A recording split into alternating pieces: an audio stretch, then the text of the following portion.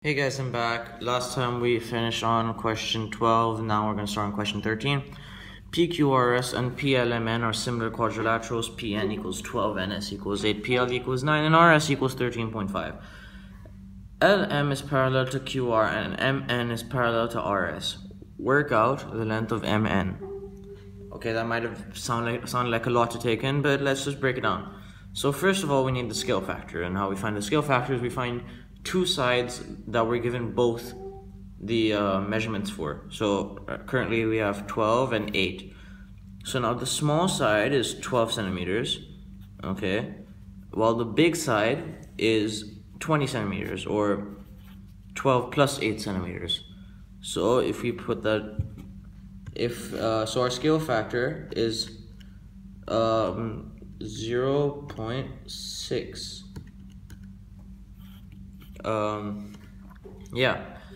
Uh, now, now that we have a scale factor, we need to find mn. mn. So, um, the similar size to mn is rs, correct?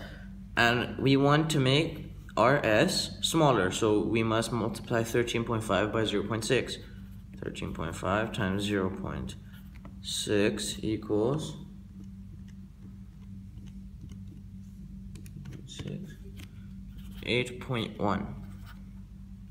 Okay, answer the first question. So, second question. Work out the length of LQ. Now, LQ, we need this length. So, we have the similar side, which is 9. And uh, since it's the shorter side and we want the longer side, we have to divide 9 by 0 0.6. So, 9 over 0 0.6 equals 15. Now that's not our answer yet since we only need LQ. So our answer would be 15 subtracted by 9 which will give us 6. Okay. Um, the area of PLMN is A. The area of PQRS is KA. Find the value of K. Now, the area of PLMN, so the smaller one, is A. And the area, area of PQRS is Ka. So we can't use 0.6 for this equation since um, since it's asking for uh, k um, in respect to the bigger one. So what we need to do is we need to do 20, uh, 20 over 12, which would give us um, 1.6 recurring and with that 1.6 recurring, um, with that 1.6 recurring, what we, uh, since it's asking for area, we have to square that. So 1.6 recurring squared equals 2.7 recurring.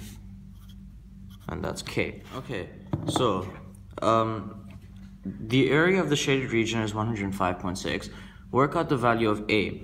So as we know, 2.7 recurring A or minus A equals 105.6 because 2.7 recurring A is K. 2.7 recurring is K. So Ka minus A is the shaded region, which is 105.6. So this is this is the same as saying 1.7 recurring A equals 105.6. So A equals 105.6 over 1.7 recurring, which gives us 59.4. Question 14. V is inversely proportional to the square of t. When uh, V equals 28, uh, t equals 2.5. Uh, express V in terms of t. Okay, so V is inversely proportional to the square of t. Okay. So V is proportional to 1 over t squared, which is the same as saying V equals K over t squared. Okay, so 28 equals K over 2.5 squared. And what this question is asking us to do is find K and then substitute it into this formula. So 28 multiplied by 2.5 squared equals k. k equals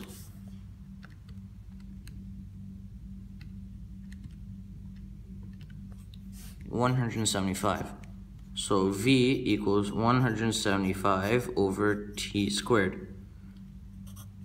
One hundred and seventy-five t squared. Okay.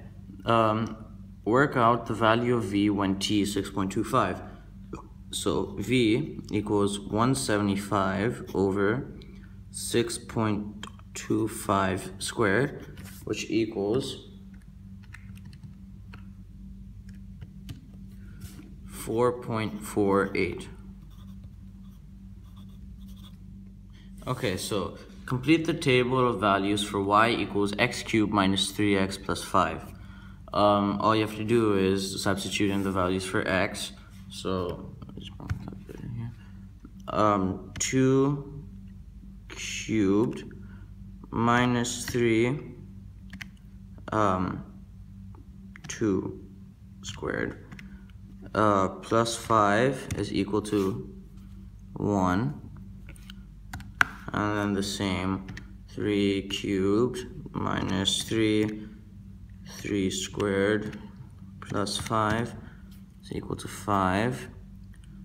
Um, so 4 cubed minus 3, 4 squared plus 5 is equal to 21.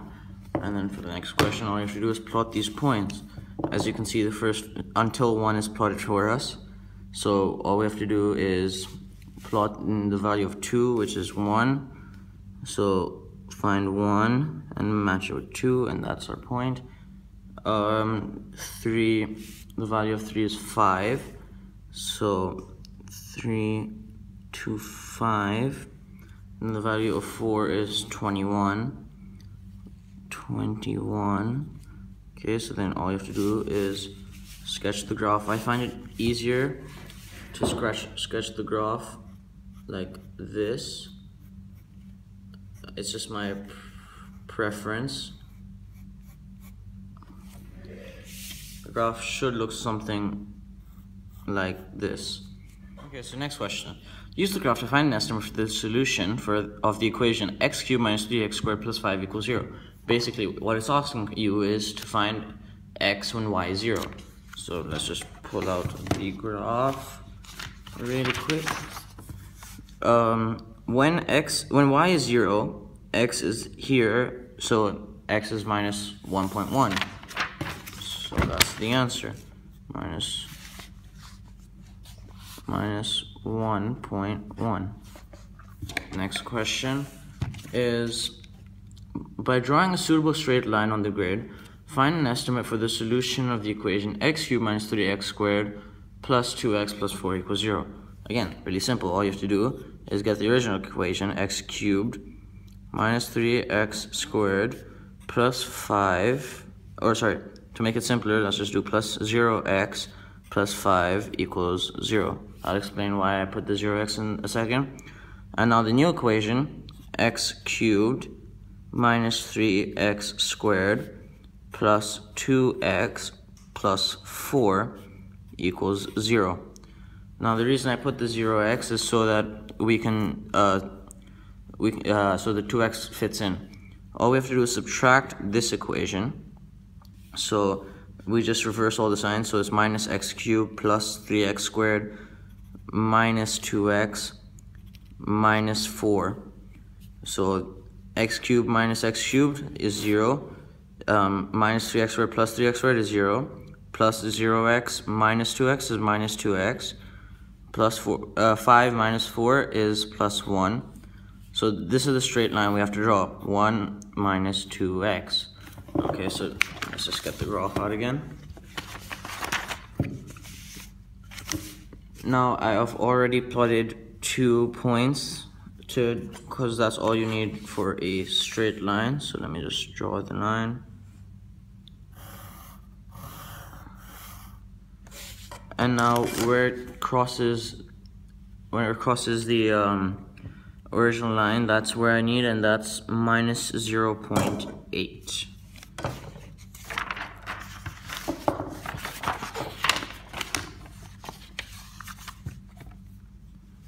Minus 0 0.8. Next question. When a fair dice is thrown, the probability of scoring 6 is 1 over 6. Aaron throws 4 fair die dice. Work out the probability that he scores a 6 at least one of the four uh, that he scores 6 with at least one of the 4 dice. Simple. All it is asking is if this dice has a 4, this dice has a 4, this dice has a 4, or this dice has a 4. So, since it's asking us or, what you do with or is you add the probabilities. So, 1 over 6 plus 1 over 6 plus 1 over 6 plus 1 over 6 gives us 4 over 6. That's this probability which can be simplified to 2 over 3. 2 over 3. Okay. Question 17. J, K, L, and M are points on the circumference of a circle. G, J, H uh, is the tangent, G, J, H is the tangent to the circle. M, K, M, K, and J, L intersect at point P. P. G, M, L is a straight line. Angle HJK is 62. Angle JKM is 21. And angle JGL is 78. Write down the size of angle MLJ. Angle MLJ. We need this angle. Okay? This is so there's a theorem that states if uh, angles that hit the circumference from the same uh, from the same points on the arc are equal. So MKJ, okay, and MLJ would be equal uh, because they start and end at the same point and they hit the circumference. So angle MLJ is 21 degrees. Next question. Write down the size of angle JLK. JLK. This angle over here. Again, quite simple. Um, uh, this is uh, the alternate alternating segment theorem, where um, this 62 branches off here and branches off here. Now, the angle that they make when they cross each other, so this one, is equal to this angle, 62 degrees. Last question, work out the size of angle KPL. So this angle over here.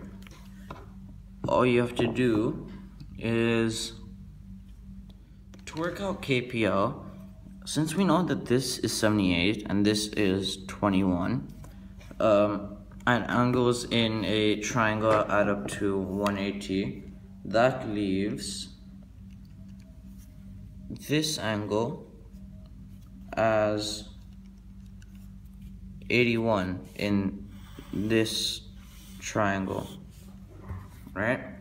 So with this angle, and since this is a straight line, we can work out this angle. So um, that angle would be 37, so thanks to the 62. Now, again, angles in a triangle added to 180. So therefore this triangle, we can work out this angle, um, which is um,